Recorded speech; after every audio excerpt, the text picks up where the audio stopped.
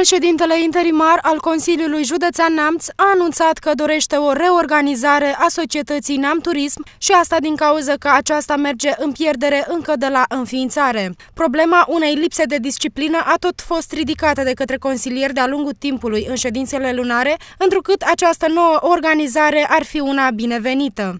Printre priorități avem uh, rezolvarea problemei, să zic așa, a lui Neamț Turism, deci Neamț Turismul a fost uh, văzută când s-a înființat ca o societate care să răspundă sau să răspundă, mai bine zis, unor obiective. Dacă vrem să facem județul Neamț cunoscut, trebuie să-l facem prin forțele proprii. Forțele proprii înseamnă uh, Neamț Turismul.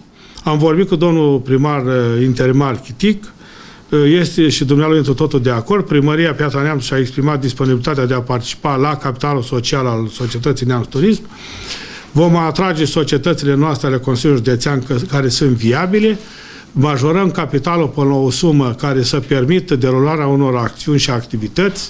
E vorba aici de, repet, înființarea unei agenții, de preluarea unor puncte în județul Neamț.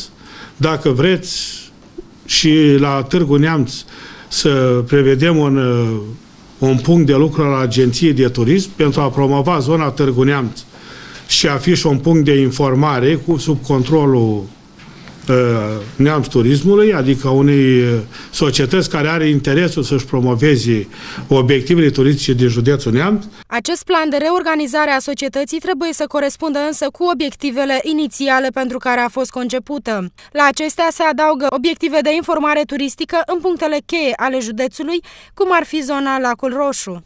Adică să promoveze județul Neamț pentru o agenție de turism, să preia niște zone, să zic așa, nu în administrare, dar în uh, uh, supraveghere și să uh, aibă niște puncte în zonele respective. Vorbeam de intrările județului. Uh, mă refeream atunci că la Lacul Roșu, undeva în zona noastră, să fie un punct turistic de informare prin agenția de la Neamț Turism, să ne promovăm județul prin agenții în sensul de a vinde județul nostru, turistic vorbind, pensiuni, locuri de cazare către alte zone ale țării. La târgurile care se desfășoară, vă spun cu siguranță că nu se face lucrul ăsta, că nu avem prin ce îl face, în afară că ne prezentăm cu o serie de obiective ale noastre, nimeni nu vinde județul Neamț în sensul turistic, adică blocuri de cazare, pensiuni și așa mai departe. Din nefericire, nici administrația care am avut-o la Neguleș, ca să zic așa, n-a fost cea mai fericită de-a lungul timpului, nu numai acum, și în trecut. Și sigur că lucrurile trebuie regândite și repuse la modul la care îl dorim noi la ora aceasta.